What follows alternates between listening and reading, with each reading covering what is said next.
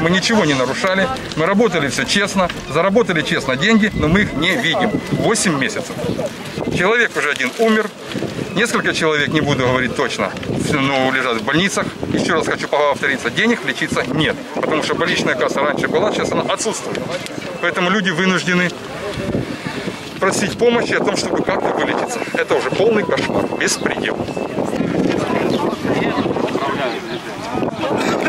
Обращение, они почти на дорога открыта. Все.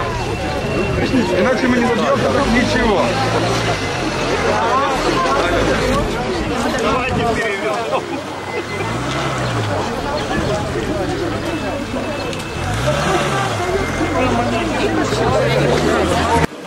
Поэтому мы вынуждены, чтобы нас власти услышали.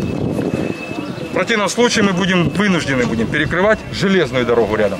И будем перекрывать до тех пор, что пока нам не, не предпримут меры.